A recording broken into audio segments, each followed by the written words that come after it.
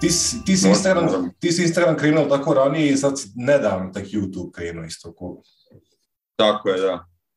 Da, na Instagramu sam ono, ajde da kažem, odavno.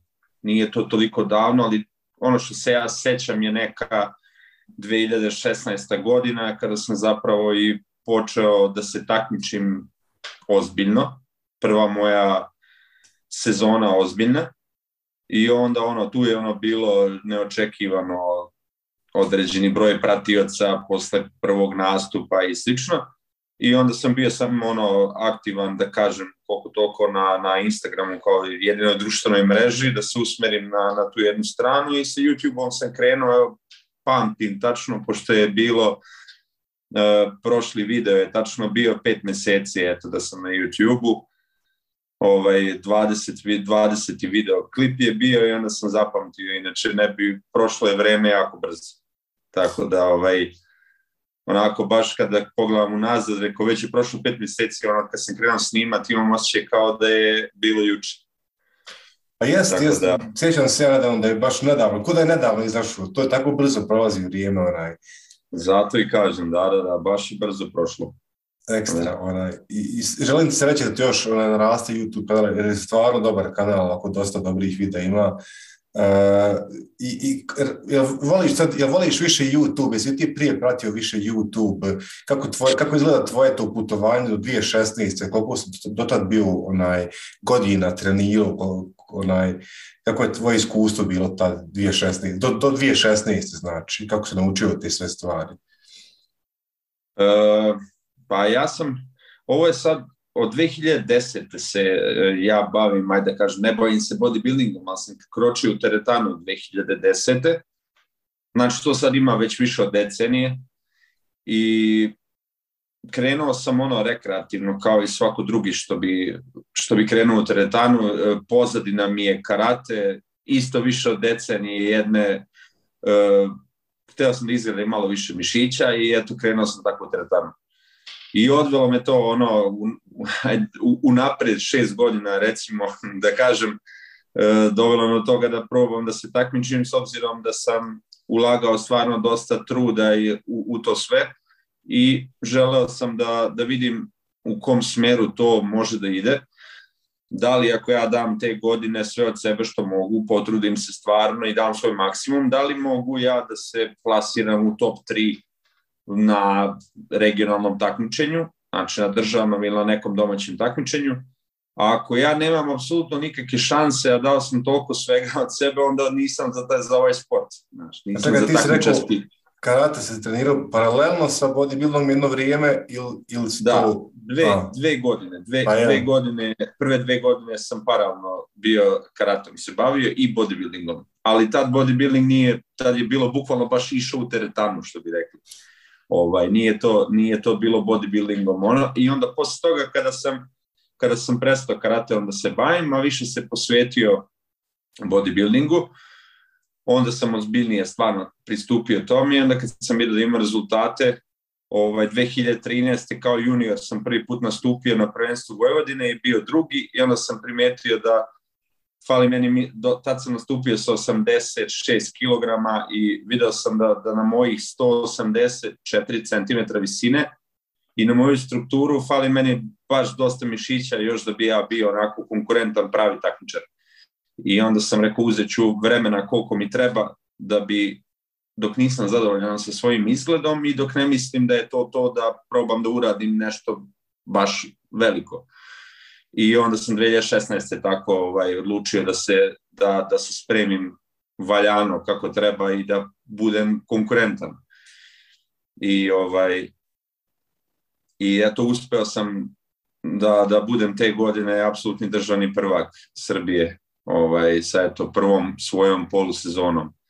I Tako tri da- imaš sad tako, tri sad piše na, na profilu, vidio sam. Da. Imam, da, 2016, 17. i 18. 2019. sam uzeo uh, IBB Pro Card u Budimpešti. Bravo. Baš ovaj NPC je, nije Elite Pro, nego onaj baš IBB Pro Card. Tako da ono, to je baš onako, onako ovaj, da kažem, bio izazov ozbiljan. Ovaj, ali, ali kažem, ono, kroz, kroz, ovu, kroz ove godine što sam se takmičio od 2016. do 2019. 2019. upravo uzimanje te pro kartice, to mi je bilo posljednje takmičenje što sam nastupio.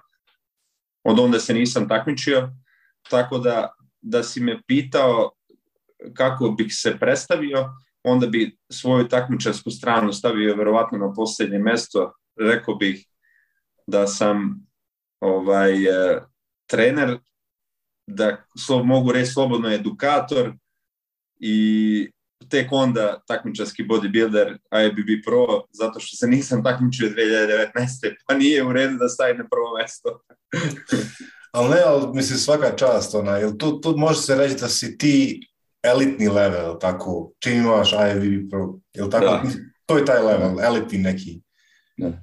Ali jeste.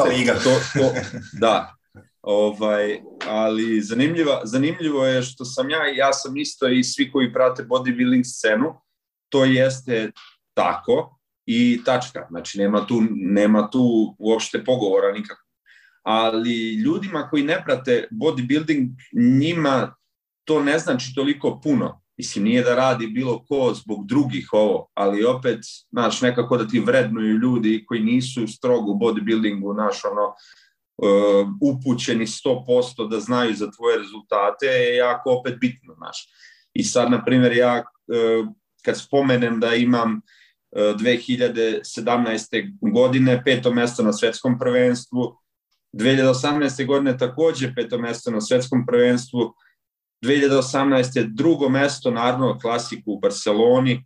Znaš, ti kad spomeneš ta, take plasmane, ljudima je to zvučnije mnogo nego taj pro kart znaš. Ali ja, ja, meni je to normalno, znaš, no, ni ja da nisam u bodybuildingu, meni bi isto da neko kaže da je vice šampion naravno klasika bilo wow, znaš, da je to baš ono velika stvar i jeste. Znaš, ali konkurencija za pro kart bila daleko jača, e, mnogo je bilo teže uzeti tu pro karticu nego, nego naravno klasiku onda. Ali, ovaj, ali to ne znaju ljudi kad nisu bili tamo. Tako da, zanimljivo je svakako, ovaj, svašta sam ja proživio kroz ove, što sam se takmičio i video i no, ne bih menjao stvarno ovaj, nikad to, taj doživljaj. Ja, i mislim, ti na kraju krajeva iskustvo to za, kao, za tebe kao trenera, rekao si da si nekako prvo trener, to prvo stavljaš, onda imaš iskustvo to koji možeš dalje da tako daješ svoj neko. Da. E, strogo takmičarski bodybuilding gledajući ne mora nužno da se prenese na osobu da bude dobar trener. Znači da, da, da, ne, da ne svate ljudi pogrešno. Znači nije usko povezano, znači dobar takmičar da je jednako dobar trener. Znači, ali iskustvo koje si imao kroz ceo taj proces može svakako da ti doprinese da budeš bolji trener.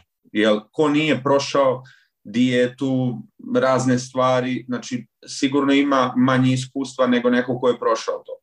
Ovaj, ali opet kažem, za rad sa ljudima treba neka, neki drugačiji pristup i e, malo možda drugačije obrazovanje u drugom smeru, znati, jer posao trenera nije samo plan treninga ishrane. Treba znati komunicirati sa ljudima, kako pristupiti u zavisnosti od njihovih obaveza, prilagoditi Ovaj, I to, kažem opet, ne mora nužno dobar takmičar da ima takvu vrstu razumevanja i takav pristup. Treba, treba znači čisto tako najse da se da postaneš pretio pa da onda smršaš, da skontaš kako je kad, kad... Da. Isto tako, mislim, ono, uglavnom će to ljudi da govore koji, ima, koji fizički izgledaju dobro, pa će onda reći da je glupo da, da neko ko, ne, ko sebe nije znao da dovede u red, znači da izgleda pristojno, da on bude trener i da on kao, naš, pokušava nekog drugog klijenta svog da dovede. Valjda prvo treba sebe da dovede u red. To je, stop, to je tačno, znači to jeste tačno. Mi ne znamo da li je taj čovjek, možda taj trener o kome sad potenci pričamo, da li on nekada bio, izgledao dobro i da li ima neki razlog zašto se on sada zapustio ili slično, Znaš, ali svakako treba da bude ogledalo njegovog rada, znači to kako on izgleda. Ja se slažem u potpunosti sa tim, ali ne treba da bude jedini parametar koji će da presudi da li odabrati trenera, znači da li je po, po tom izgledu fizičkom. Nisam, nisam ni za tu stranu.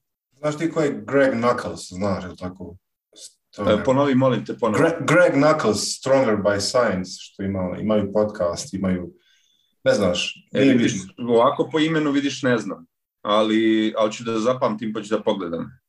Pa, mislim, on zna vjerovatno nutricionizmu više nego što kad ga pogledaš, kad vidiš kakav je, znao od, od toga više, ili ima Nick Truman, ali ima još tako neki ljudi koji su ni, ništa nišćim, alterne na kraju krajeva znaju puno više stvari nego što misliš, tako da to definitivno nije nikada gledalo, ni da li si dobar što kažeš takmičar, ni da li si onaj da, da, da. dobar, a, a ti skillovi, taj soft skill isto da nekom objasniš što, što kažeš, onaj, zavisi od njegovog razumijevanja na kraju krajeva kad nekom objašnjavaš jedan na jedan i, i to trebaš uvijek uzmati u obzir koliko možeš da kažeš, koliko već ta osoba zna i tako da na kojem nivou, to isto dosta bitno. Da. Onaj, tako... Jako bitna stvar. Mm, red, jako red. bitna stvar, pogotovo, pogotovo kada, se, kada se radi o personalnim treninzima mm.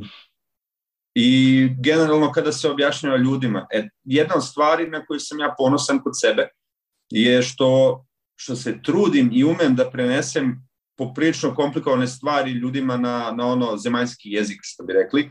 I to je upravo moj YouTube kanal. Znači, ja stvarno pokušavam što manje stručnih pojmova da koristim i da svoj sadržaj oblikujem, da čak i oni ljudi koji, koji prvi put kroče u teretanu imaju apsolutno svaki benefit od, od mog videa, koliko god to bilo za napredne vežbače možda.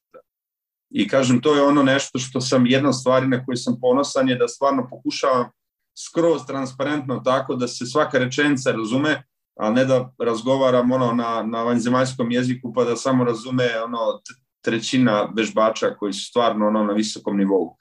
Jer ja sam morao da prolazim kroz literaturu koju nisam isto razumeo, pa sam morao ja to u svojoj glavi da sve formule razrešim i kada sam uspeo, ne želim ja na taj isti način da prezentujem ako umem da ispričam o, znači da razumeju svi. Jer mislim da je to, da je to pokazatelj razumevanja materije. Isto I... tako obradiš iz više uglova sve to, tako da dosta onaj stvari, mislim ti kažeš trećina će razumiti, ima e, dosta nekih započetnika, nekog stvari koje će razumjeti, koje će njemu doći dobro u tom videu. Ti govorim sad o, po, po ovim videima kako izvesti vježbe, bent overu i tako to. Jer da. će neki početnik naći nešto, neki napredni i neki, ne znam, ja između toga će naći isto neke stvari koje će mu pomoći da, da, da tvika se kaže, da, da, kako se to kaže na naš... Jeste, jeste, da, da ispravi greške jeste. neki, možda da se malo da se malo još doradi tehnika. Dobio sam komentare i to. E, hvala Maksu što si potvrdio, potvrdio ono što sam znao, kaže, ali sam ipak našao još neke stvarčice koje mogu da poboljšam.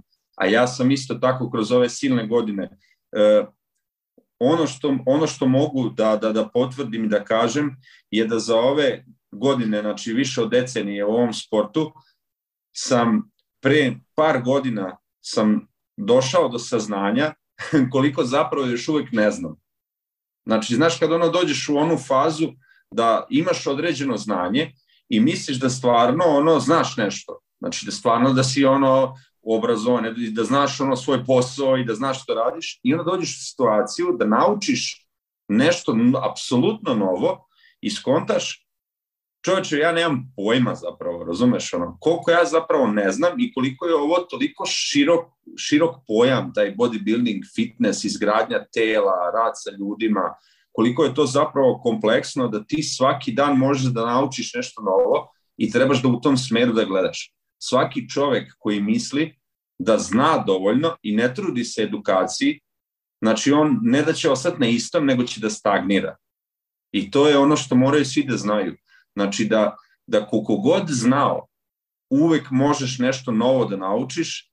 Eto, to, to sam ja dobio potvrdu samo iz mojih videoklipova nekih, gde neke osnovne stvari objašnjavam i gde ljudi koji su stvarno mislili da su savladali apsolutno tu temu, dođu do saznanja da su kiksali na nekim osnovnim stvarima, što nije uopšte za, nije čudno i nije uopšte ovaj, nije da se čovjek iznenadi, to je normalno, znači to nije ošte kao ja, ja nisam znao to koji sam ja, ono, naš neuk čovjek, naš, ono, ali ovaj, kažem samo tako, uhvatimo sebe da, da nam je nešto možda promaklo i da to nešto može bolje da se uradi. I kada spoznamo to, znači onda, onda smo tek na uzlaznoj nekoj putanji. Možeš mi reći sad konkretno šta je to što si sad, što ti je malter ne promijenilo paradigmu, što, što, što si na, u zadnjih par godina nešto što si onaj naučio? Jel ima nešto, jel možeš nešto iz, iz, iz, izdvojiti kao konkretno nešto? Uh, mogu, da izdvojim, mogu da izdvojim konkretno uh, sam trening uh, leđa. Znači, trening fokusiran na leđa. Uh, koliko sam ja mislio da znam da treniram leđa, to je bukvalno bilo posle mog osvajanja pro karda. I ovaj, onda sam počeo tako da malo, pošto uvek mi to bilo zanimljivo, ovaj, uh, leđa su mišićna partija kao i noge, s obzirom na noge imam poprilično dobro razvijene, iako ja smatram da mogu da poradim i dalje na nekim uh, regijama što se tiče nogu, ali sa, sa leđima, leđa su partija koja nema, nema, nema e, te hrane i, i, i tog dopinga ili kako god već da nazovemo koja će da ti izgrade leđa ako ne znaš da ih radiš, znači ako nije adekvatan stimulans. I počeo sam da pratim tako neke, neke ljude koji upravo ne izgledaju baš toliko dobro, ali ljudi znaju. I onda kada shvatiš biomehaniku pokreta malo i kada shvatiš kako to sve funkcioniše, kada shvatiš da zapravo ti moraš da, da znaš tačno kojim pokretom ćeš šta da radiš, onda shvatiš da, da, da moraš imati potpunu kontrolu da bi ti mogao da, da, da radiš pravu stvar. Znači, ništa ne možeš na pamet da radiš. Moraš tačno znati da, da taj pokret što izvodiš, da je to to što trebaš da radiš. A za to treba stvarno poprilično znanja i razumevanja znači samog pokreta, zašto baš tako i ući malo dublje u tu celu priču. I ja, ja konkretno nisam uopšte zadovoljan kad pogledam unazad kako sam ja radio to pre, za razliku od sada, i koji sam progres pravio ovaj, u tom posljednjem periodu kada sam to spoznao. Ali generalno, znači, sama tematika, toliko stvari u posljednjih par godina i pristupa u radu sa ljudima generalno, znači, princip samo prilagođavanje, znači kada neko dođe pa dva čoveka koji su iste visine, iste težine, isto procenat masti, a totalno drugi plan sklapaš za, za ljude zato što im je život oblikovan drugačije. Jedan je fizički radnik, jedan u kancelariji radi. Znači, ne može biti isto za ta dva čoveka. Sposobnost da se adaptiraš na take situacije kao trener i da, da uspeš u, u, u 90% slučajeva da iz prve pustiš plan koji će da daje rezultate je ono nešto što, što treba godina i trebaš da, da učiš i da, i da imaš, i da, i da imaš ovaj iskustva sa, sa tim stvarima. U kojoj sad fazi i koliko, koliko ti sad kalorija trošiš trenutno? Uh, pa trenutno negde oko 4000 ja mislim da unosim s obzirom da, da sam poprilično zadovoljan sa trenzima, kakvi su mi trenzi i onda mogu da sebi dozvolim da, da unosim toliko hrane, inače, uh, inače bi verovatno bio na manji. Znači, kontam da ljudi misle da unosim mnogo više, ali ovo je za mene onako nešto što, je, što mi je na duge staze izdrživo jer preko ovoga moram stvarno da se onda ozbiljno uklapam za količinu hrane.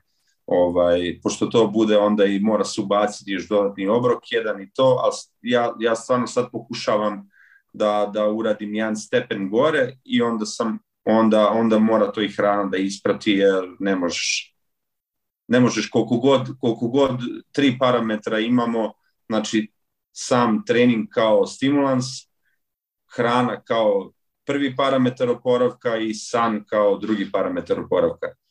I ovaj, ako nisu sva tri ispoštovana, onda se primeti kako jedno počne da pati. Znači, ako nije oporavak dovoljno dobar, onda primetimo na treningu kako opadaju performanse i, i slično. I onda baš to žongliranje između toga svega, s obzirom da nisam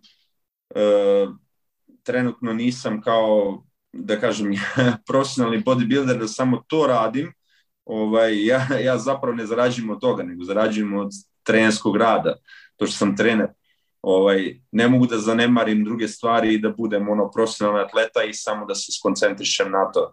Ovaj, I onda je malo zeznuto kad imamo obaveza da se uklapa sve, nosiš činije sa sobom da jedeš, e, pre, priprema obroka u napred, onda ti nekad ti se pomeri obrok za ne znam pola sata, sata vremena i više, pa onda te drugi sustigne kad si na tolikoj količini, pa onda, na, on, čitava peripetija. Uglavnom, baš mora čovjek da voli i da ima, da ima to, tu žar u sebi da, da napreduje, da bi se ono držao tako, tako nečega. Nekad je lakše raditi dijetu nego, nego graditi mišić, pa jesti puno hrane, ovaj, nekada je lakše stvarno da budeš malo gladan nego, nego ovako da, da, ono, da, da moraš da tempiraš pa da jedeš na, na svakih, ono, ne znam, dva sata jer ako promašiš gotovo.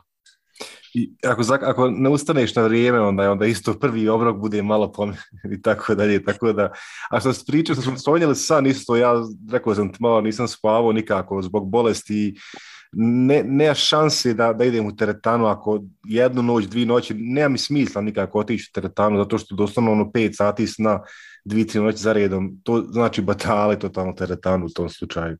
A, ti ispričao malo prije o pripremama, jel, ima, jel, ti, jel, ti, jesi imao tako neke posljedice tipa da ne možeš spavat nikako i da onaj, kad si bio duboko baš u pripremama nekim? E, nisam, nisam imao toliko problema sa snom.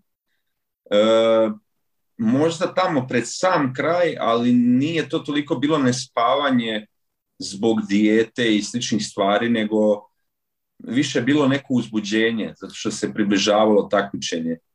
E, izaziva, u, s obzirom zato što takmičenja su poprilično bila velika i mhm. imao sam uvek u poslednje vreme ne, neki pritisak i sa svoje strane i, i, i od strane drugih, ne direktno, indirektno, e, da se uradi rezultat dobar. I onda kad imaš naš, takvu, takvu vrstu pritiska, naš nije baš sve jedno kad se počne približavati takmičenje. Ovaj, kad imaš i od sebe očekivanja velika i od strane drugih. Znaš, i onda je to, to je bio jedan od razloga kada sam možda malo teže zaspao jer sam razmišljao o tome šta ako se desi ovo, šta ako se desi. Ljudi krenu i da preteruju sa razmišljanjem pred kraj. Ja sam isto bio kao, kao i verovatno drugi, ali ovaj, ovako, ovako sam bio ok, ono, to mi je, bilo, to mi je bilo, bio plus jedan veliki, pošto sam čuo da se ljudi generalno žale, ja sam mogao da spavam i drago mi je zbog toga, pošto, bi mi, pošto to stvarno jako remeti na kraju. S obzirom da imamo potrošnju veliku, pred kraj hrane vrlo malo, i onda kad ti je san poremećen još, onda se to nagomila i sustignete baš. I u većini slučajeva onda ne ispadne baš na kraju kad treba da budeš najbolji, ne ispadneš baš najbolji iz, kad si skupi to sve. Yes. E, znaš šta, htio bi se vratiti kratko na što si spominju za leđa ovo, tehnike. Vidio sam recimo sad u tvom videu onaj za lat, kako raditi lat mašinu kažeš nemojte rad hiperekstenziju, znači nemojte ono, znaš, ja sam vjerovatno prije isto, ono gore si tu, a dole si skroz u hiperekstenziji, znači kad povučeš baš ono zategneš.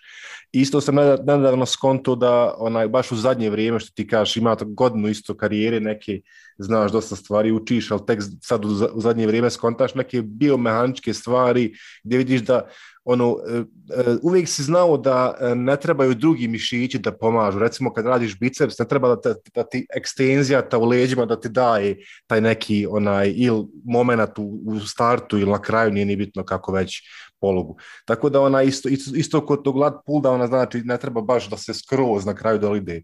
Jel, jel to jedna od tih stvari recimo u treningu leđa i možeš malo još ovako neke cake da malo onaj, od majstora da skontamo šta ima još? Da, ovaj, jeste. Jedna od stvari generalno je da nigde, nigde ne želimo ni, ne samo na treningu leđa i na lat pull downu, nego u većini situacija ne želimo da imamo tu hiperekstenziju, zato što hiperekstenzija, sam, sama reč, znači mi smo izvijeni previše i kada pogledamo iz drugog ugla telo, tačno vidimo krivinu kako je donji deo leđa zategnut, a samim tim, znači, nam je trbušni zid sa prednje strane totalno rastegnut. Znači, uopšte nema, nema potpore sa prednje strane. I to je jedino objašnjenje zašto nigde ne treba da, da, da imamo hiperekstenziju, zato što taj pritisak onda na kičmeni stub ne postoji više sa prednje strane, nego samo sa zadnje. I to znači da nam je stabilnost mnogo lošija nego da nismo otišli u hiperekstenziju. Znači, čvrst kor i potpora od nazad pravi to da ima stabilnost u, ajde kažem, abdominalni deo i generalno donji deo. E, hiperekstenzija na lat pull downu konkretno automatski promeni ugao znači pod kojim mi vučemo sajlu ili ti šipku na grudi i dobijamo totalno drugu putanju. Kada ubacimo još podignute laktove i laktove okrenute ka nazad, onda dobijamo od vežbe koja je generalno vežba za cela leđa, dobijemo vežbu koja je vežba za gornji deo leđa i zadnje rame. Znači, samo sa tim nekim stvarima, naginjanjem, hiperekstenzijom, pomeranjem laktova. Zato je par glavnih stvari što sam naglasio u, u tom videu za lat pull down je da su laktovi blago ubačeni kao unutra, da je da kičmeni stub neutralno stoji i da se blago nagne samo unazad. Znači ne stojimo vertikalno, nego ima blago naginjanje, ali sve vreme držimo stomak i kičma stoji neutralno. Onda dobijemo vežbu koja je za cela leđa. I ona stvari koje, naravno, početnici ne trebaju to da shvate sada, što, što da kažem tako, i da sad automatski izbace lat pull down. Ja ga radim. Ja radim lat pull down. Iako nije najbolja vežba ako je nam je cilj da radimo latove. Zašto? Zato što za, za aktivaciju latova treba ruka da nam bude ubačena. Znači, pod ubačena mislim da bude ubačena ovako. Lat pull down nam tera ruku sa strane da stoji. Znači, aktivacija latova je kada je lakat što bliže telu i onda kada ide prema dole.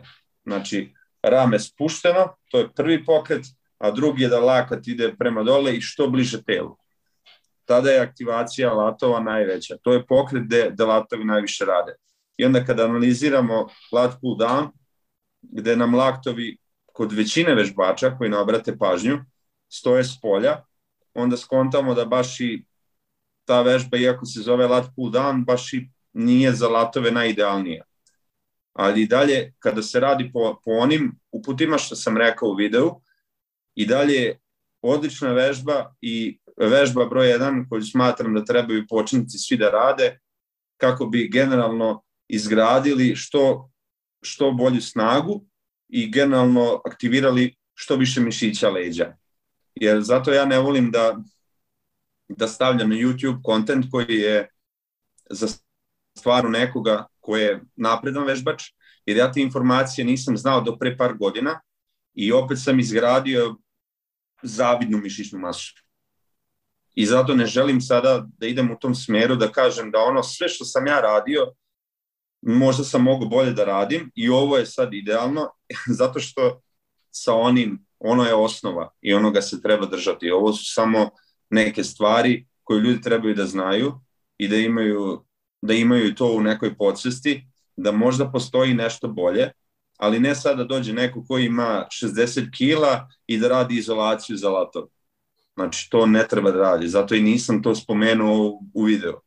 ovaj, tako da sve se generalno, nije to toliko, nije to ništa toliko komplikovano, generalno sam trening nije komplikovan i treba se držati bazičnih stvari, ali kad dođeš do nekoga platoa, ni kad dođeš stvarno do platoa, ne zato što si tehnički ne, znači nisi korektan, ne radiš dobro, ne izvodiš dobro biomehanički pokret, znači da nisi, ne jedeš dobro, ne odmaraš, znači ako su svi parametri ti ispoštovani, onda možemo doći do nekih korekcija i onda usko specializovati trening da ide u tom smeru.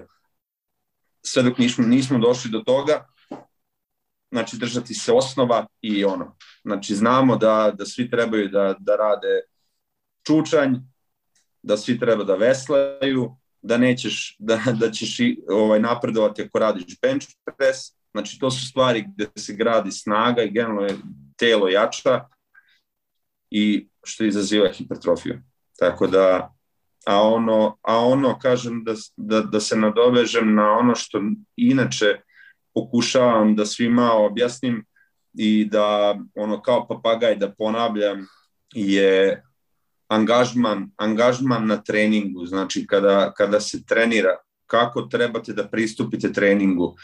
Ja, svako ima, svako ima ono što preferira i ono, kažete će da teži, znači ne mora nužno to što ja radim, ne mora nužno biti da ću da dam klijentima svojim, ali je ono u kom pravcu bi voleo da ide moj rad sa ljudima i što mislim da je najoptimalnije.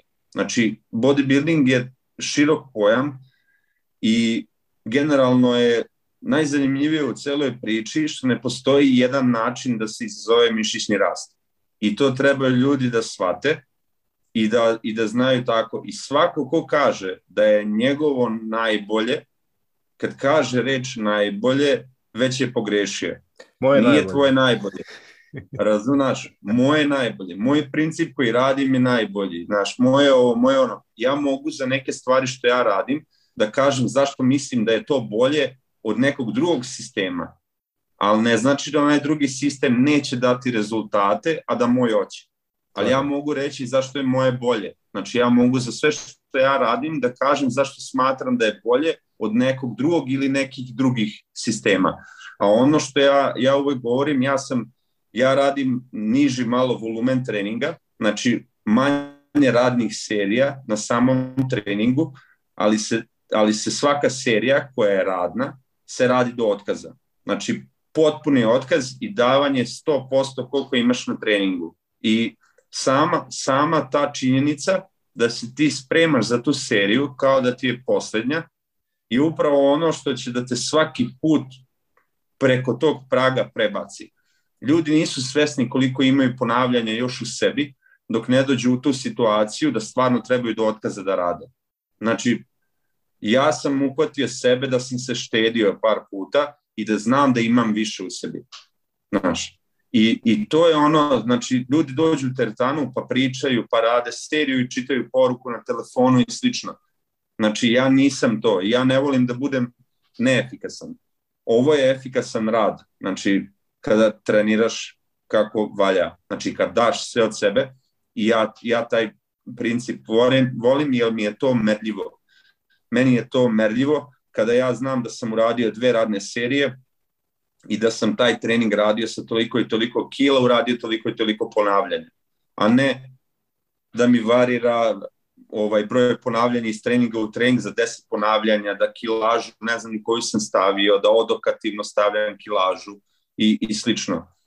Ja sam takav po prirodi i ja volim to, meni je to davalo rezultate i kažem opet ja mogu da kažem zašto smatram da je to mnogo bolje od, od nekih drugih principa, ali kažem uvek se vraćamo na ono da ne postoji samo jedan način da se izazove mišićni rast. I to je to.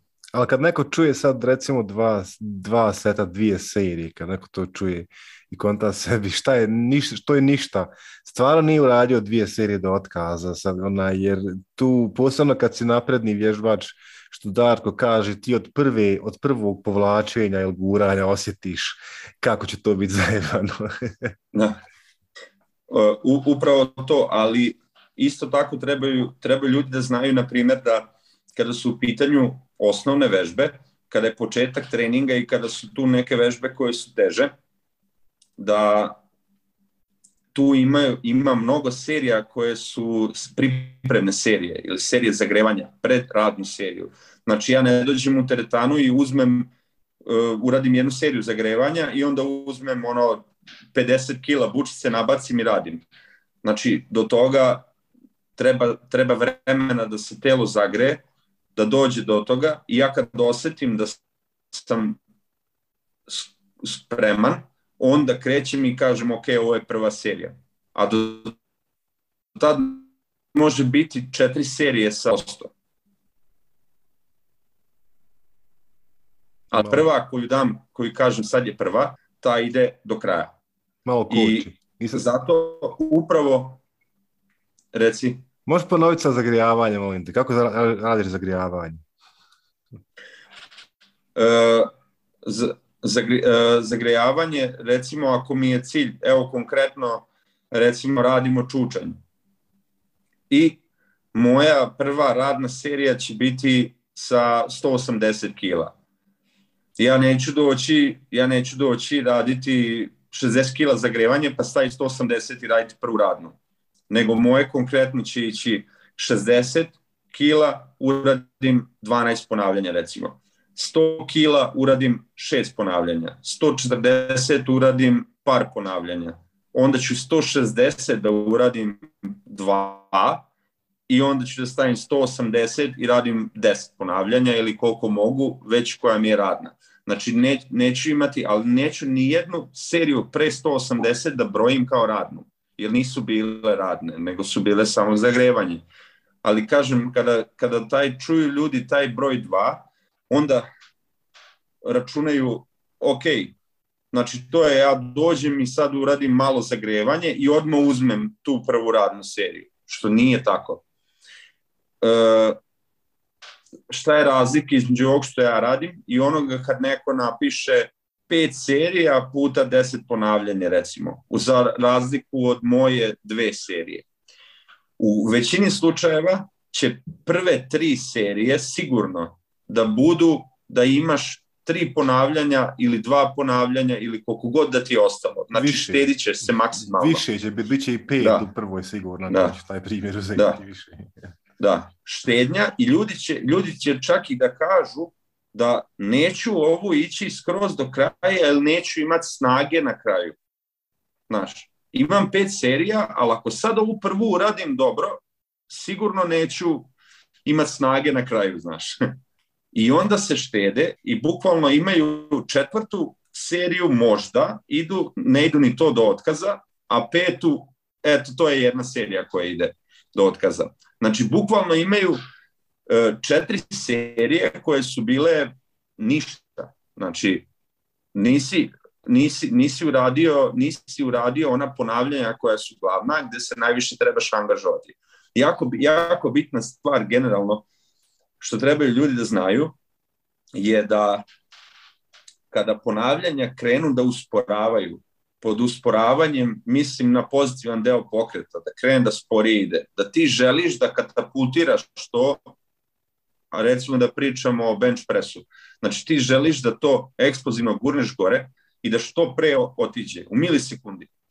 A ta šipka ne, se ne kreće toliko brzo, koliko ti misliš da bi trebala. E, ta ponavljanja koja krenu da usporavaju, to su ponavljanja koja, koja, koja su bitna. Znači tu počinje da bude bitno. takozvana efektivna. efektivna. Ta, tačno. To je najadekvatnija reč je, to su efektivna ponavljanja. Znači, a koliko puta, koliko puta smo videli koliko puta smo videli u teretani ljude ovaj, kako završe seriju da im je prvo i posljednje ponavljanje bilo iste brzine. Znači nisu ni ušli u tu, u tu zonu kada počinju efektivna ponavljanja. I upravo, upravo zato ovaj, je, u tome je poenta, znači kada imaš radnu seriju, trebaš dati taj maksimum da dođeš do tih ponavljanja što su efikasna. A treniranjem do otkaza znamo da će se snaga smanjivati iz serije u seriju. Zato meni u većini slučajeva izgleda dve radne serije Prva je top set, gde ciljam određeni broj ponavljanja i druga serija mi je u većini slučajeva da malo smanjim težinu i da napravim onda malo već, da pravim volumen, znači da radim malo veći broj ponavljanja sa tom manjom težinom koju se smanjio. Jer verovatno ne bi mogao s istom da ponovim taj broj ponavljanja, sam otkazao bio. mm, down set, radiš. I onda, ja, ja isto volim down setove raditi na nekim tako vježbama. Da svaki, svaki da. dvije i pol kila na svakoj vježbi, na svakom setu skidam, recimo na, za zadnje da. rame tipa ili nešto. Da, zadnje rame kao mala mišićna partija i gde malo, malo veći broj ponavljanja može da se radi. E, naša izdržljivost generalno na većim brojem ponavljanja je bolja. Znači, e, računaj da imaš seriju od šest ponavljanja, gde ćeš da radiš šesticu, ko, koja je šansa da ako otkažeš na šest ponavljanja, da ćeš to sledeću seriju da ponoviš? Ne postoji šansa. Znači, a kada radiš 20 ponavljanja, onda je malo veća šansa da ćeš možda ponoviti 20 drugu seriju. Mm. ovaj, telo se malo drugačije umara kroz, uh, kroz taj već velik rang ponavljanja. Ali to je sad onako malo dublja, dublja tema ovaj, da, da ne... Vidi, može mi ti dublje teme, može, mogu ja reći isto na to da je recimo jedan faktor zašto na manje ponavljanja možeš tako manje varirat je zato što matematički imaš veći dio, recimo kad radiš pet ili šest ponavljanja, to ti je nekih 20% dodatka, a kad radiš 19 i 20, to je onda nekih 5%, razumiješ? Tako da ima i ta matematička varijabla zbog te krivulje. Mislim, pravo ti da su to drugačiji da. totalno sistemi radni. Ovo je nekako pumpa, ovo je više mehanička tenzija, mada oba dvoje ima i oba dvoje zapravo.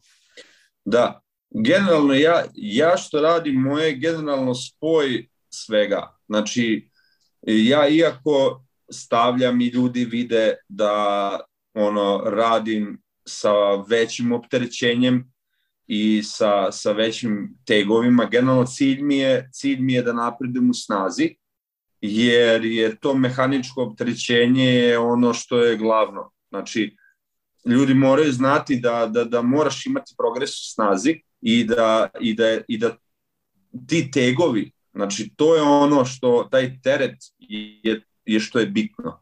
Znači, pravilna forma izveđenja i veliko opterećenje nema šanse da ne napreduješ. znači, mm. ako napreduješ u snazi i ako ti je forma e, znači, kvalitetna, znači ako ti je forma izveđenja pokrita na mestu i ako si to sve pokrio sa, sa adekvatnim e, makronutrijentima i odmorom, znači nema, nema šanse da ne napreduješ. E sad, kažem, problem je što ljudi ne razmišlja na taj način i ne, ne, ono što je glavna stvar što klijentima kažem je da mor, mora, morate napredovati iz treninga u trening ili u broju ponavljanja ili u težini koju stavljate na tu šipku, na mašinu ili kako god. Znači ne možeš sebi dozvoliti da imaš dva identična treninga ili da ti, znaš, ono, osim ako kažem nije faktor umor neki ili nešto, ali ciljano treba ići ka tome da se jača Znači da, da probaš. Možda jedan dan neće ići, pove, povećaš težinu i ne uspeš raditi taj broj ponavljanja što si hteo. Ali možda već sledeći trening ili onaj tamo, možda već uspeš, ali ako ne probaš nikad, znači nećeš onda ni uspeti uraditi. Znaš. Spominjao si sad formu, znači pravilno, to je jedna jako, jako važna stvar, zbog toga ti na kraju kraju imaš tih svojih, koliko imaš, 50 videa, jel nije, koliko, nisam sad Koliko si uploadao? 20. 20, biće 50, 20. biće 50 za, za pola godine. da, da, da. I e, jedna, jedna, jedna stvar, recimo, kod, kad možemo se vratiti na lap mašinu je, ljudi ono široko hvataju i onda čim široko uhvatiš, maltene nemaš raspon pokreta ni blizu, nekad malo uže uhvatiš pa imaš puno veći raspon pokreta u tom latu, na kraju kraja puno veći iste, i gore i dole imaš, ovdje si u nekom srednjem dijelu. E, ka, da. šta ti još misliš o rasponu pokreta? Ja sam baš poveć, e, vremenom sam povećavao sve više i više raspon pokreta i na leđima i na prsima i na onaj i na svim vježbama. Na kraju kraja kad gledam svoje stare videe znači uvijek vidim manji raspon pokreta nek ovi novi videe neki da nas da.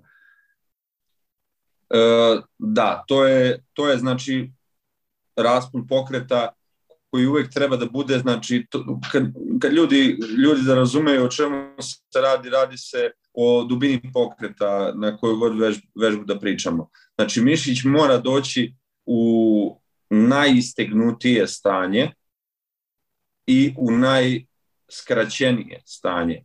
Znači, da bi bila, recimo, najadekvatnija stimulacija. Zato, zato i kad se radi, recimo, ajde, vežbu koju svi znaju, bench press, kad ljudi kažu trebaš ići do grudi. Nije to zato da, da ti kažu e, moraš do grudi ići, jel tako radi, ne znam ko. Zato što je to je najniža tačka koju ti u tom koju možeš sa tom vežbom da postigneš. Znači, nije to bez veze tako. E sad, o, uvek se treba držati toga. E, šta se dešava kod ljudi, zašto ljudi skraćuju pokret? Zato što kada se produbi pokret, veća amplituda pokreta i samim tim je teže mišiću da izvuče, znači automatski težina će se morati smanjiti ako se pokret produbi.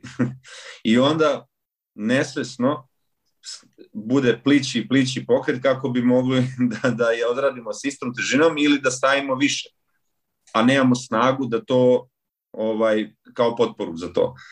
I onda ljudi, onda vidimo ljude sa parcijalnim ponavljanjima, to uglavnom muškarci budu, oni vole da oni vole da, da pakuju težinu, a nisu spremni za nju. Znaš, ono, 20 jedinice, kad radiš ono pola donjeg, pa pola gornjeg, pa onda čitam na kraju. Kako ide to? Totalno nešto je bilo. 21 jedinice, 7 ovako, da, 7 onako, 7 onako. Sjećaš se toga? Jeste, za, za biceps, za biceps pregib, to su profesionalci radili, ovaj, i to se često vidi, a, ima to nekog smisla, ali... Ali obrnuto, ali nekako, oba... meni to obrnuto smislo, smislo tu. Trebalo bi da obrnuto, ali dobro, hajde, neću sad da pametim. Jeste, jeste, slažem se, slažem se ja. Ono, ono što je najteže na kraju rade. Pa to, ja, mislim, ajde, nema vezi, kako god, hajde. hardcore. ali to profesionalci mogu, naš, sad smo mi, mi ovo ništa, to oni verovatno, mi, mi ne radimo dobro. A ne, htio sam baš da pričamo o rasponu pokreta, znači ima jedna studija gdje su radili donji dio ekstenzije, znači u, ist, u istegnutom stanju gornji dio, druga grupa je radila gornji dio, a treća grupa puni pokret i ova koja je radila u, iste, u istegnutom stanju ima najbolju hipertrofiju, čak bolju od ove sa punim pokretom. Tako da, pošto je stretch under load samo po sebi individualno isto jedan mehanizam kako može da raste mišić, malte ne, i onda tu se nešto potrefi u tom istegnutom dijelu, ja njega pokušavam da gađam, kažem ti, na svim mišićima. I kad radim onaj neki, onaj lat pull down, ja volim rata assisted pull up, i totalno, znači, baš visim skroz i na skroz dogoru radim, tako da baš iscrpljavam taj, taj stretched dio uvijek na svim mišićima. Da, i to, nije, i to nije greška, mislim, ti radiš punu amplitudu pokreta i, i nema tu šta. Znači, to apsolutno nije, nije greška. Good job, jel? Good job. Da, to, to je to, to je to. Znaš šta, kol, koliki ti je sad volumen kad radiš, recimo ti, spomenuo si dva neka sata, koliki ti je volumen za leđa, prsa, koliko radiš serija sad i u, u kojoj si sad fazi, nisam baš tačno skonto, znači e, sad si na nekom održavanju ili kako sad bi, nisam te... Da, pokušavam da gradim, pokušavam da gradim sad. Ja, i koliki, koliki ti je volumen za razne dijelove mišića, baš me zanima. E, za leđa konkretno, trenutno direktno za leđa imam četiri vežbe na jednom treningu, evo sad konkretno neki prosek. Četiri vežbe direktno za leđa, po dve radne serije, vežba za trapez, dve radne serije, znači to je ovde 4 puta 2, 8, 10 radnih serija direktno za leđa i meni je, meni je split još uvek uh, radim push-pull noge.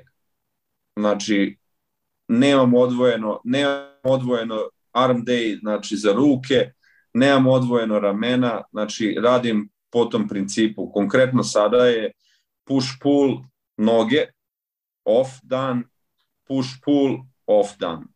Mm -hmm. Znači tako je, tako je sada, tako, tako je sada i ovaj kažem meni je znači u pušu imam po, posle znači grudi ramena imam dve vežbe za triceps, isto tako u pull danu uh, posle leđa biceps dve vežbe, noge su odvojene, više za kvadriceps uh, fokusirano i nema nikakve komplikacije toliko nego samo angažman uh, na, na treningu.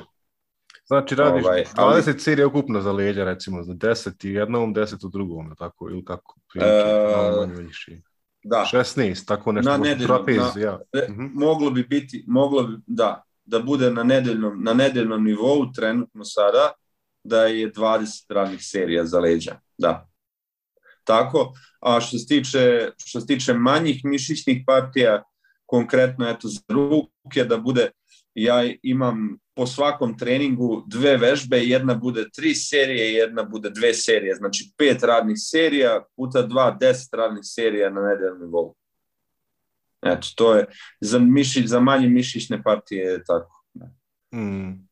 Generalno, generalno nije, nije, na nedeljnom nivou nije malo, malo, ali za jedan trening kad nekome kažeš s obzirom da dva puta prođem ovaj, jedan, jedan uh, pool, znači je fokusiran malo više za, na latove, jedan je malo fokusiran više za gornji deo leđa, tako i push, jedan je malo više za grudi fokusiran, a jedan malo više na ramena.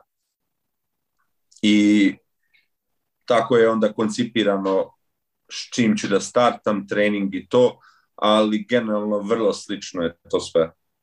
Jel radiš ovi, uh, side lateral delts, jel, jel, jel njih radiš posebno i kako, jel njih isto tako uz, uz push radiš, kako radiš njih? Da. Uh, bočno ovaj, uh, srednje rame u pušu, kada radim uh, trenutno kad radim za grudi, znači taj puš za grudi imam jednu vežbu koja je bočno letenje, znači samo jednu vežbu i ta bude tri serije a kada je dan za dominantni na ramena, onda imam dve vežbe.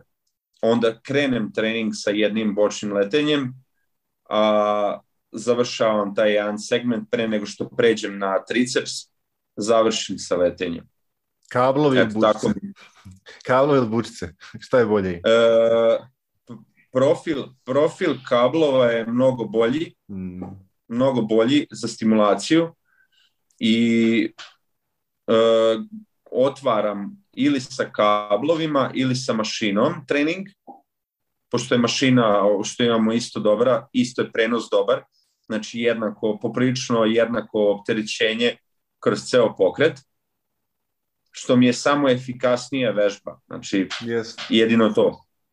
Ali uh, vratio sam bučice bio u trening taj dominantniji na ramena, jer kad imam jednu vežbu u ovom prvom delu gde mi je trening za grudi dominantan, tu onda biram da radim efikasniju vežbu i držat ću se sajli. Konkretno radim onu na, na uskom onom uh, crossoveru, na sajlama, onaj uži što je multifunkcionalni, što ga nazivaju, i unakrsno sa obe ruke iza leđa. To mi je konkretno vežba, taj trening a kažem, radio sam sa bučicama baš prošli put i to mi je nova vežba što sam ubacio u taj drugi trening, ali chest supported što rade na klupi, znači da su, da je, da, da je, da je ta varijanta bez nekoga njihanja i ubacivanja i automatski je opterećenje manje, manje bučice, ali izolacija pokreta mnogo bolja.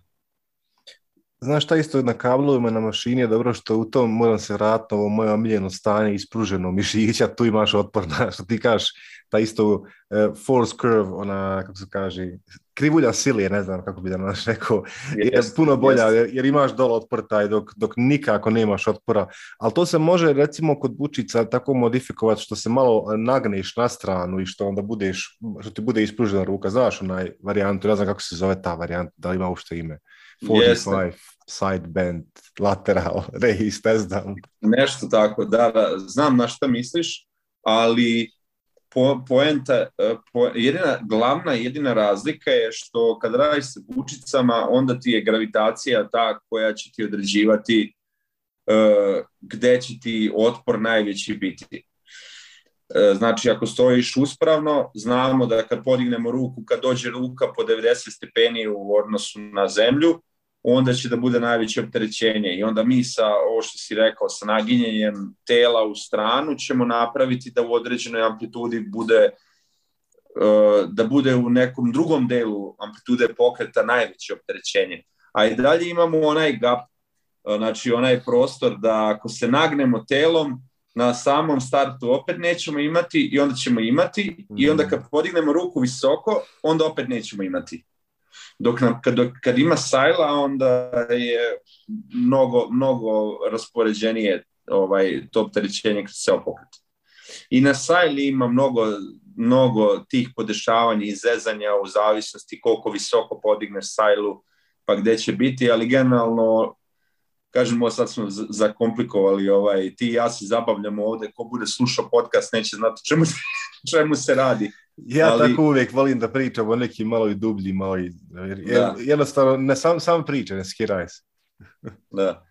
Uglavnom, uglavnom ono što je najbitnije je da se, da se zna i to je jedino bitno što treba da se zna je da kada je sajla po 90 stepeni u odnosu na ruku, tada će biti najveće opterećenje. I onda znaš kada kreneš pokret da radiš, znaš gde će ti biti otpor najveći i onda u zavisnosti visine sajle možemo i to da doziramo. To je još jedna stvar, ovaj, ali generalno kažem ono, uh, pošto ja pratim ovaj uh, pratim dosta ove ljude što su, da kažem, teoretski dosta potkovani, učimo od njih. Jedan od njih je, je Joe Bennett, hypertrophy coach i, i ovaj, ja sam imam uh, kurs od John Juveta, onaj J3 University, znači dosta, on je takmičar, on je IBB Pro takmičar od 212 kategoriji i bio je na Olimpiji prošle godine, poprilično se dobro pasirao, ali ono, belac je, znaš, ono, genetika, što bori se sa, bori se sa znanjem da se, znaš, ono, što bolje plasira. I ispred njega budu, ono, genetski koji su nadareni, razumeš, ono, i ja cenim čoveka koji, znaš gde bi bio da nema takvo znanje, ne bi ga nigde bilo na mapi, razumeš, i ja to respektujem i ovaj i stvarno ono čovjek zna, znači nemaš ti tu nije znači ne možeš da osporiš ništa. I ovaj kažem onda sam u, ovaj, upisao tu edukaciju bio kod njega i tako kažem pratim te ljude uh, koji možda izgledom ne, naš ono, kao ono, izgledom čovjek, ono, bio na Mr. Olimpiji, razumeš, ono, u top 10, kao izgledom možda ne, ne izgledaju baš nešto posebno, kaže ono, ali znaš, ono, kvalitetan sadržaj, ja, sve što kažu je, je pametno i smišljeno i kažem, ja to, ja to baš, ovaj, baš respektujem. I onda pratim tako i baš sad kažem, uh, skoro, skoro je Joe Bennett rekao, sve ovo što pričam, to je 2% od onoga što je bitno. Znači, ovo što sad pričam je 2% od onoga što je bitno. Ovo uopšte nije toliko bitno. Eto, prilike. To, to su cake neke koje dobro dođu, ako je neko stvarno na visokom nivou, ali nije osnova. I zato kažem, ja, ja kad snimam materijal za YouTube, ja stvarno biram temu od koje će svi ljudi da imaju korist, a ne samo neko ko je stvarno napredan vežbač i što sam se zeznuo bio, bukvalno ja mislim da mi je to drugi video bio ili tako nešto, gde sam stavio tri vežbe za latove, ovaj, tri najbolje vežbe za latove. Video boli glava, znači šta sam ja sve ispričao u tom videu, ono, koje informacije sam dao, još sam ono sebe suzdržavao da ne pričam to, ali ono rekao, koji đavo pričam, razumeš te stvari, i opet sam preterao, sam stvarima što sam ispričao u tom videu, jer mi to bio drugi video i nisam imao toliko ljudi koji su me gledali u tom trenutku i ja ono raspalim, razumeš, ono bukvalno za latove gde sam objašnjavao ovo što sam sada ukratko za položaj laktova, tri vežbe glavne koje sam ja, koje ja radim evo i sada, posle pet meseci, razumeš, i to se ništa nije promenilo, znači, samo nije, do, nije adekvatan tajming bio za stavljanje da taj drugi video bude o, la, o latovima, Razumijem. koje je široka, široka tema. Vidi, onaj, znaš, za, za, onaj, ti sad meni rekao, hoću da objavljujem videe koji svi mogu gledati, znači, koji početnici i napredni na kraju kreva. Ja, ja sam suprotno, ja, ja objavljujem sam kontent kojim sam određeni ljudi gledaju. I većinom treneri isto gledaju, dosta trenera gleda, znaš, tako da možeš raspaliti koliko hoćeš duboko, jer sve da ja ovde, ja ovde, ja ovde hoću baš to, baš da se onaj opustimo svi, da, da pričamo nekim malterne jezikovim kojim pričali kad bi se ovako sreli, ali da opet ima nešto, uvijek naravno hoću da nešto dajem s ovim onaj, jer, da, jer, jer, jer nauka fit podcast, tako da može malo i nauke, a može malo i zajebanci ih Jeste, mada to, ta dva zajedno moraju da idu. Nije fora da, nije fora da bude ovaj samo jedno ili drugo. Ne, a drago mi je što si došao, onaj, mislim, možemo mi još da pričamo kako hoćeš o svim. Znaš šta bi volio da, da, da te pitam, recimo, za trapez, onaj, to sam baš sad sjetio. Um, ja sam tako prije trapez, znači uspravno stojao prije i radio taj radi. Dok sam skontao kasnije da se treba malo naprijed nagijet, tako da imaš to da povlačiš malo više iz ugla nazad. Jer jel, jel ti isto se malo naprijed nagneš ili, ili, ili radiš, kako radiš trapez kad radiš trapez? Nagnem se, nagnem se malo napred, zato što većina ljudi, ono što ćeš da vidiš je kad ljudima postane teško, je da urade ovo sa ramenima napred i krenu da vuku gore, znači da, da, da naginju nazad glavu i da vuku ovako. Ja sad karikiram pokret, ali, znaš, dobiju taj pokret, a to nije adekvatan pokret za, za trapez. Zato kada se nagneš malo nazad i onda kad vučeš nazad, onda ćeš dobiti znači, mnogo bolju stimulaciju i moćeš dublji pokret da uradiš. Generalno ja to ovaj, primenjujem odavno, ali ja sam, ja sam to uh, išao logikom što osetio sam kako imam angažman dosta uh, vrat, vrat mi, mi ima angažman kada, kada, kada stojim paralelno i samo vučem gore. A generalno nemam problem sa tim, pogotovo kad sam ono bio mnogo teži pre, ono vrat, ono de, debeo vrat, meni estetski to nije toliko, nije toliko lepo i ja sam to pokušao da izbegnem na taj način, znači da maksimalno aktiviram nazad trapez, jer mi, naravno, meni kao bodybuilderu treba i za zadnji dupli biceps pozu i za zadnji lat.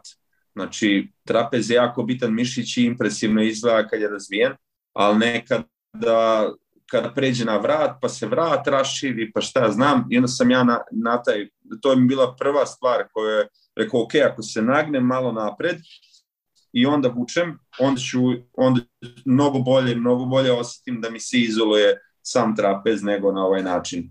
I onda kasnije sam to video i na drugim mestima i čitao i, mm. i šta znam, uglavnom bolje, bolje aktivacija kada se malkice samo nagne prema napred i kada se gleda onako dijagonalno dole pogleda, ne da se gleda pravo ili da se nagne glava unazad.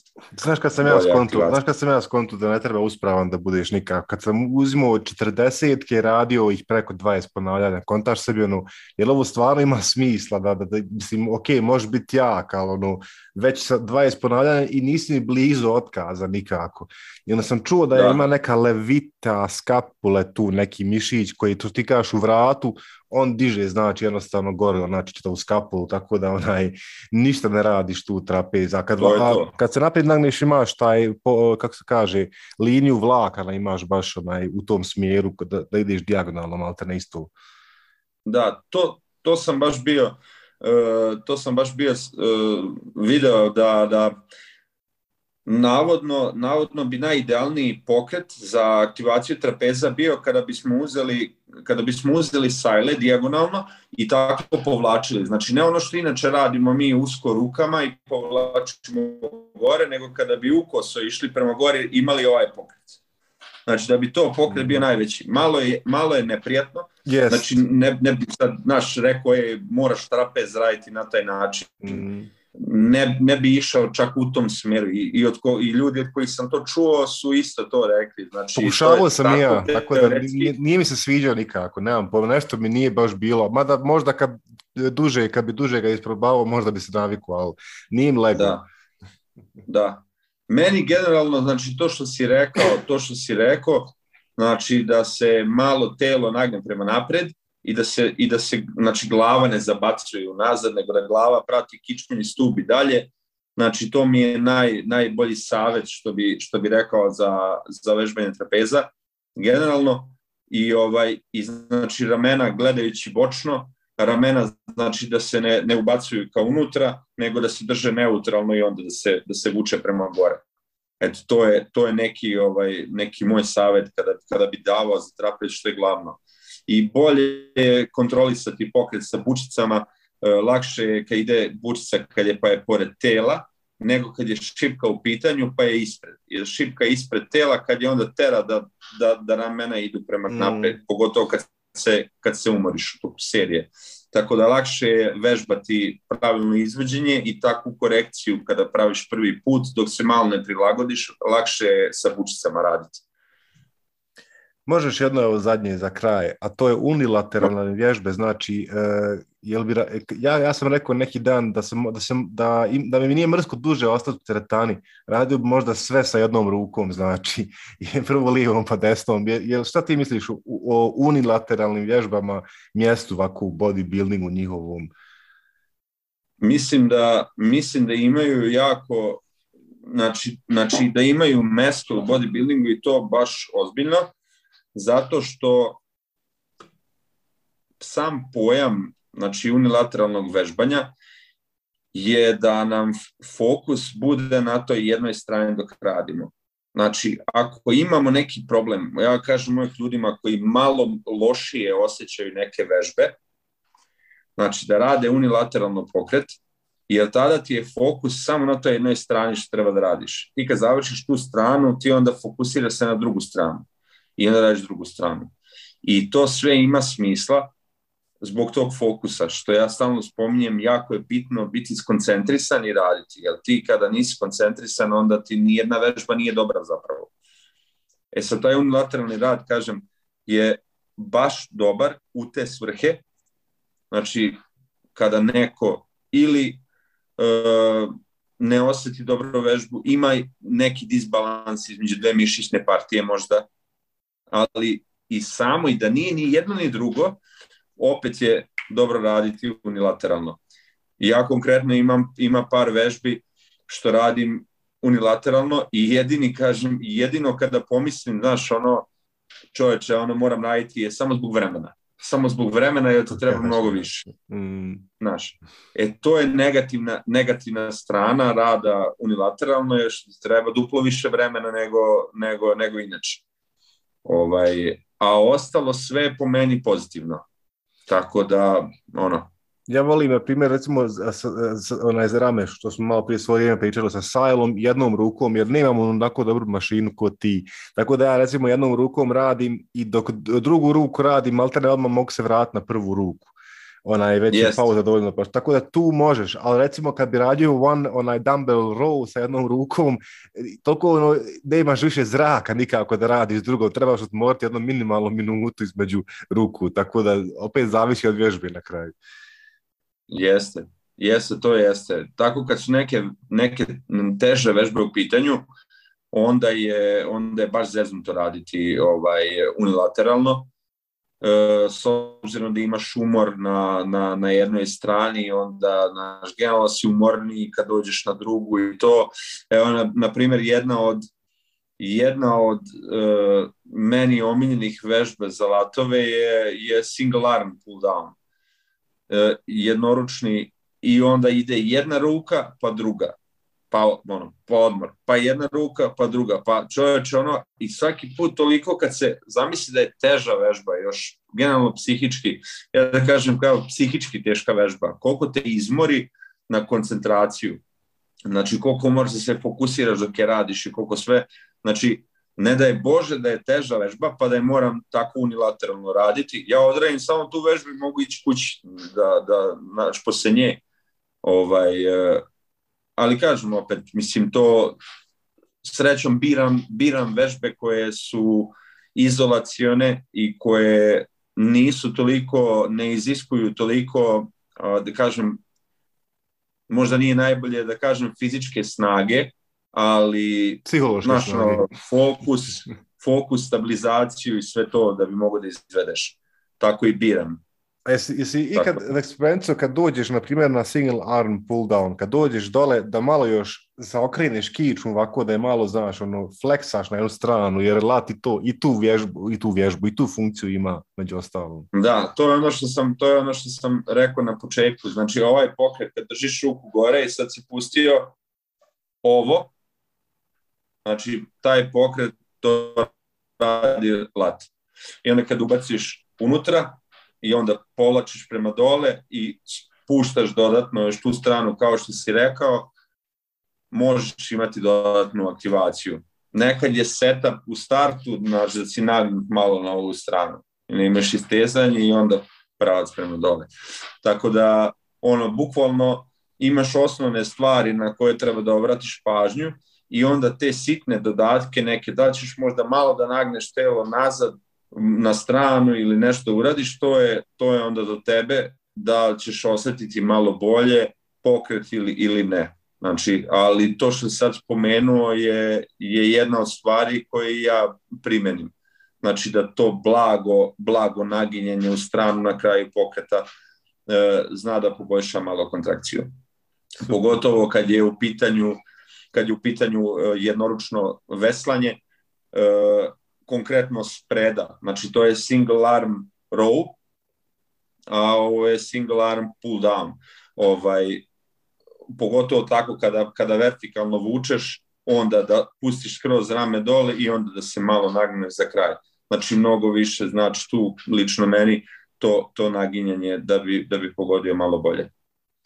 Meni sad još neki milion stvari pada na pamet, ali zvaćete drugi put, pa ćemo drugi put pričati, sad već kasno, onaj, nećemo, onaj, ili imaš nešto reći, ili imaš nešto reći za kraj, ja bi sam rekao, evo, pošto onaj, kad kažem, kad kažeš na YouTube da ljudi lajkaju, onda ljudi lajkaju svi, tako da ljudi lajkajte ovaj video, subscribe, da. komentar, ovo ono, i uh, imaš li ti što reći za kraj i tebe gdje ljudi mogu naći, biće linkovi svi ovako na u, u opisu. Da, pa drago mi je ovaj, uvek sam ja raspoložen za neku kvalitetnu priču i razgovarati o, o temama koje smatram da su bitne. Svi oni koji me prate znaju da koliko, koliko ja pričam o tome koliko je bitan trening kao jedan faktor u ovome svemu što mi radimo. I generalno smatram da, da, da su ljudi malo otišli u pogrešnom pravcu poslednjem, poslednjih dosta godina da se skoncentrišu na neke stvari koje su manje bitne, a bitne stvari zapostavljaju. I to je jedan od razloga i bio zašto sam krenuo da snimam za YouTube, da onako malo podignem svest ljudi generalno o tome i drago mi je što ide baš u lepom pravcu, vidim da je lep odaziv ljudi, tako da svakako je to ovaj, ko je zainteresovan za ovu sferu ovako o, o, o treningu, ishrani, Znači, obavezno verujem da se neće razočarati u, u content na, kod mene na YouTube kanalu. Aktivan sam na Instagramu. Instagram profil Maksim Trzin i to je to, znači ono, nađite, pišite šta god, kako god, o, ja pokušavam da stavljam stvarno dobar kontent, ono, ne, ne, ne stavljam neke gluposti i nadam se da će se, da će ljudima svideti ovaj razgovor kao i svaki ostali hvala ti što si došao stvarno puno i hvala svima što ste gledali, budite dobri jedan prema drugima.